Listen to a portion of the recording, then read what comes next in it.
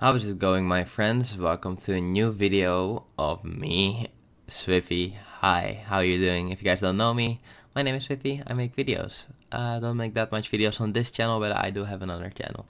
Anyway, in this video I'll learn you guys how to turn off motion blur in Train Simulator World in the DLC that's called Great Western Express.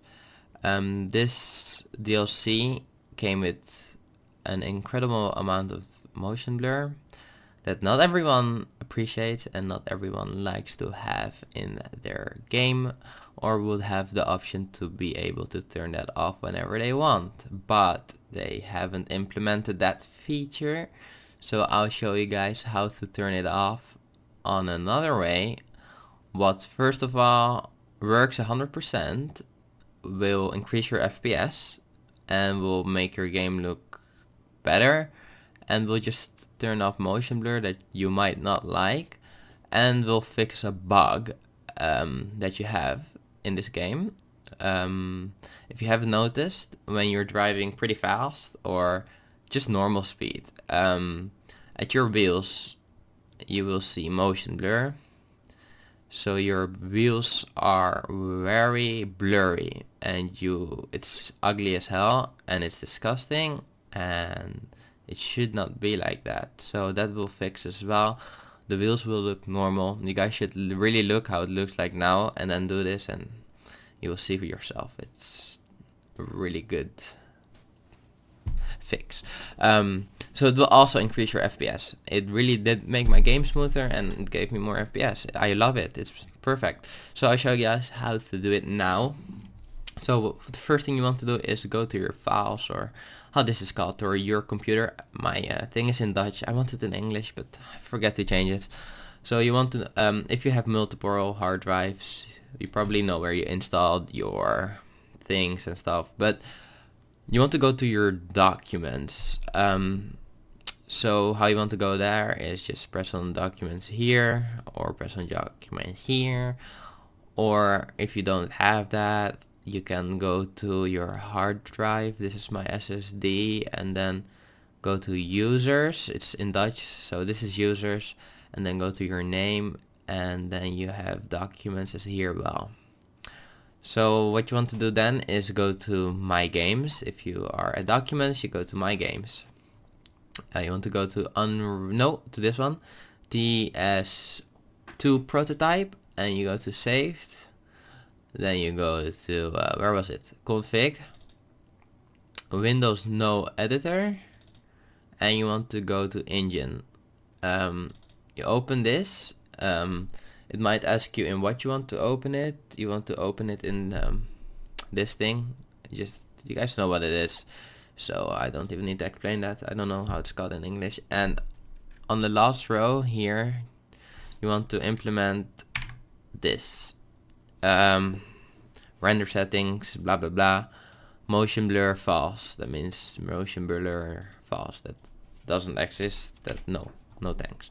Turn it off, please. And then you go to file and save or you press Ctrl S and you can close it. If you want to turn it off you just delete this, save it again and you're good to go. That's basically it. Now you can start up the game and you won't have motion blur. I'll leave the text I just copied into the document in the description.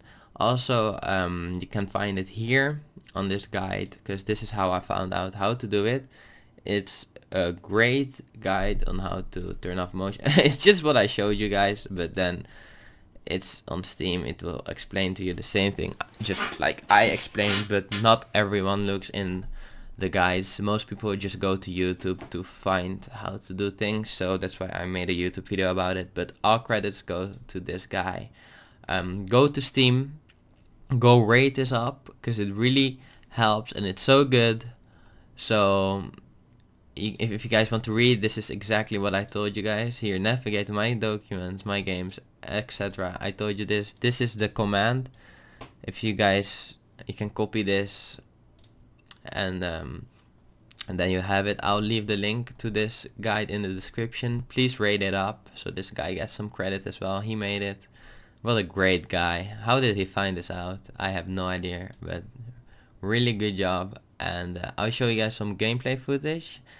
And then uh, I'll end the video here. Alright, so here we are on the Great Western Express line or I don't know how this route is called. Is it called the Great Western Express line or is that only the name of the DLC? I don't know how the real line is called. But we're here in the class 166 looking good. I love how this game looks actually man.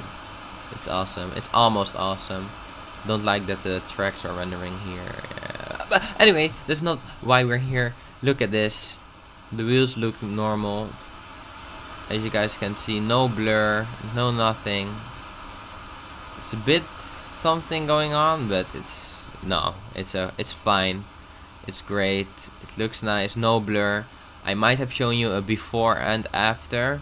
Not sure, but if I didn't, then this is how it looked like, and if I did then look how better how much better it got guys hey it's so much nicer isn't it yeah it is it really is. Um either way thank you guys so much for watching. I hope you guys have learned or if I helped you guys out with this problem um feel free to leave a like and subscribe and uh, I'll talk to you guys the next time hopefully.